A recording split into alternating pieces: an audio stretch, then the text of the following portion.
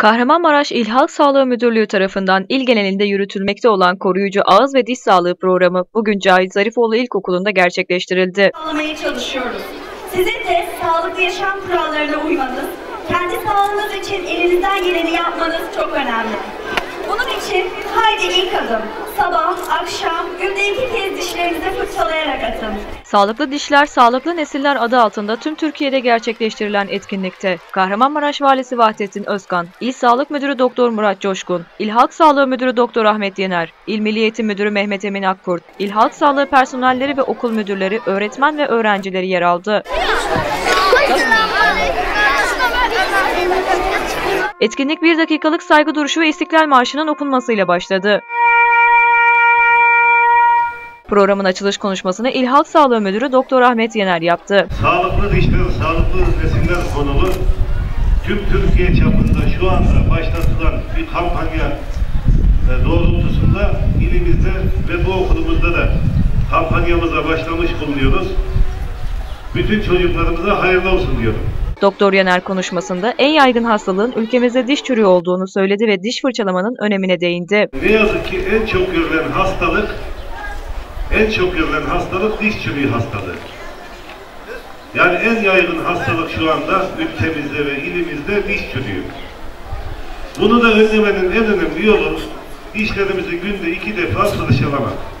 Sağlık Bakanımız şu anda tüm Türkiye'de bu kampanyayı başlatmış bulunuyor. Ee, yeni bir başlangıç ama eskiden beri yapılan bir faaliyet. Biraz daha bunu önemseyeceğiz inşallah bundan sonra.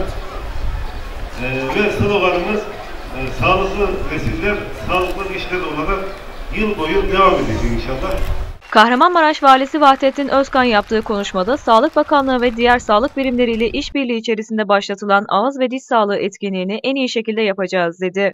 Bugünkü özel konumuz ağız diş sağlığıyla ilgili. Ee, bu türdeki bir farkındalığın oluşmasıyla ilgili böyle bir programdan dolayı bakanlığımızı, bakanlık çalışanlarımızı, müdürlüğümüzü tebrik ediyoruz. Ayrıca sağlık dediğimiz zaman sağlık elbette ki bunun ana taşıyıcısı Sağlık Bakanımız, sağlık çalışanları ama diğer bütün birimlerle yapılacak işbirliğiyle bu hizmeti en iyi bir şekilde yapacağız. Vali Özkan yaptığı konuşmada bizlerin siz öğrencilerimizden öğreneceği şeyler de var. Yeni neslin sosyal ve sağlık alanındaki hususların farkında olması gerekiyor dedi ve emeği geçen herkese teşekkürlerini iletti. Bizim de onlardan, öğrencilerimizden öğrenecek şeylerimiz vardır. Bu yeni nesil e, bizden çok daha fazla hem sosyal olayların hem sağlıkla ilgili hem sağlıkla ilgili e, hususların farkında olması gerekiyor.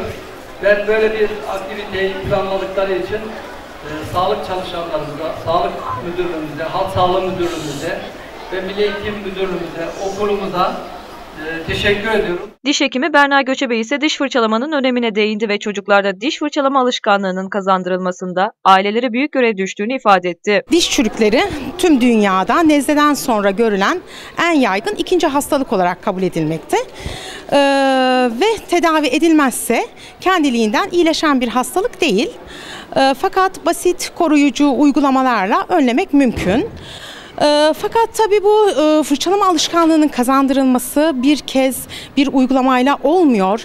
Tekrar edilmesi gerekiyor ve bir çaba gerektiriyor. Ee, bunda da tabii görev ailelere düşmekte. Program Vali Vahdettin Özkan ve İl Halk Sağlığı Müdürü Doktor Ahmet Yener tarafından öğrencilere diş fırçası, macun ve kalemlikten oluşan ağız ve diş sağlığı setlerinin dağıtılmasıyla son buldu. Arkadaşlar